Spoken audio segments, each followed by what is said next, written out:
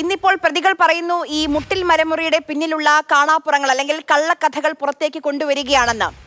അങ്ങനെ എന്തെങ്കിലും ഇതുവരെ നമ്മൾ കേട്ടിട്ടില്ലാത്ത വിവരങ്ങൾ അവർ പുതിയതായി പറയുന്നുണ്ടോ? എന്തെങ്കിലും വസ്തുത എന്തെങ്കിലും സത്യം പുറത്തേക്ക് വരുന്നുണ്ടോ? ആര്യ അത്തരത്തിലൊരു പുതിയ കാര്യങ്ങളും ഇതുവരെ കേട്ടതിലൊന്നുമില്ല. കാരണം ഈ പട്ടയ ഭൂമിയിൽ തന്നെയാണ് മരം മുറിച്ചത് എന്നാണ് ആരോപണം ഉയർന്നത്. അതാണ് കേസും. നമ്മൾ എല്ലാ ഘട്ടത്തിലും റിപ്പോർട്ട് ചെയ്തതും അത് തന്നെയാണ്. ഞാൻ നേരത്തെ പറഞ്ഞതുപോലെ സർക്കാരിലേക്ക് റിസർവ് ചെയ്ത മരങ്ങൾ പട്ടയ ഭൂമിയിൽ നിന്ന് മുറിച്ചു കടത്തിയെന്ന് തന്നെയാണ് വിഷയം.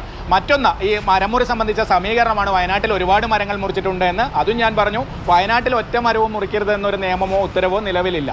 സർക്കാരിന്റെ മരം അല്ലെങ്കിൽ കാട്ടിലെ മരമൊക്കെ മുറിക്കുമ്പോഴാണ് വിഷയം. സ്വന്തം സ്ഥലത്ത് നിന്ന് മരം മുറിക്കാൻ അനുമതി വാങ്ങണം കൊണ്ടുപോകാൻ അനുമതി വാങ്ങണം അതിനൊക്കെ നിയമപരമായ അനുമതി ലഭിക്കുന്നതാണ്.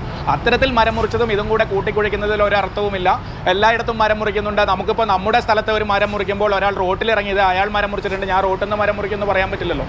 അതേ അവസ്ഥയിൽ അവസ്ഥ അതേ കാര്യങ്ങളാണ് ഉന്നയിക്കുന്നത്. കാരണം ഞാൻ പറഞ്ഞതുപോലെ പട്ടയങ്ങൾ പലതരമുണ്ട് മുട്ടിൽ എന്നൊരു സ്ഥലം വയനാടില്ല കേരളത്തിലില്ല ഇങ്ങനെ ഒരു മരമുറി നടന്നിട്ടില്ല എന്ന് വേണമെങ്കിൽ നമുക്ക് അവർക്ക് പ്രതികൾക്ക് പറയാമെന്ന് തോന്നുന്നു.